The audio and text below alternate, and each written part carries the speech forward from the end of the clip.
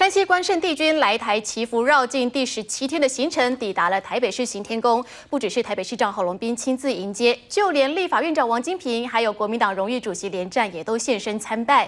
由于行天宫是台北市香火最鼎盛的关公庙，所以两岸关公的聚会让许多的信众争先恐后要一睹风采。小心翼翼抬着神轿，山西关圣帝君来台绕境，第十七天抵达台北市行天宫。政界大佬先后现身，向神明致敬。天上人间，我想哦，不是皆大欢喜，而且带来两岸啊，更多的一个实质交流。因为神像高达两百二十五公分，无法进入庙门。十四号在行天宫举办的祈福仪式，只能冒着大雨在人行道上举行。但庙方依然出动大阵仗，加上热情的参拜民众，关公魅力丝毫不减。刚好山西这个关公来，特地来看的。啊，当然有先跟小朋友讲一下那个这个历史，嘿。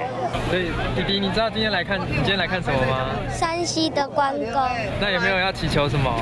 平安呐。平安，还有什么？还有那个考试可以考一百分。